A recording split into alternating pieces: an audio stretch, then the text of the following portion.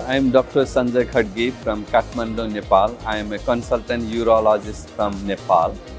I am invited as a faculty or as a speaker in this mega event. I'm really glad to see the management you guys have done. It's a world class, internationally perfect.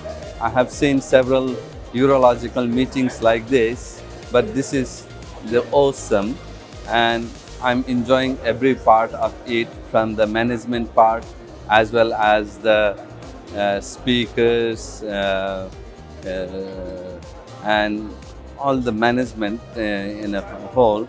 Uh, I really appreciate everything appreciable. Thank you so much.